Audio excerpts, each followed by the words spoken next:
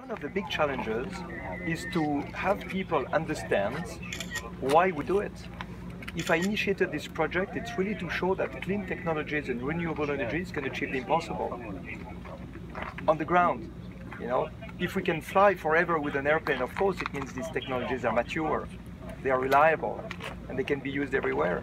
So, you know, when we speak of climate change, we speak of protection of the environment and things like that, we have to understand that today we have profitable solutions for that. It's not just a question of spending money to protect nature, it's a question of developing a clean technology industry that will at the same time protect the environment by reducing energy consumption, by being more energy efficient, but also creating jobs, making profits, opening new economical development. This is important. So what I really emphasize is the fact that it's the beginning of something new.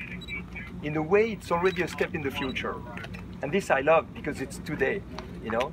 And uh, all the people who say, oh, we have to keep on doing as usual, don't change anything, they, they have not understood all the opportunities that we have now for the future.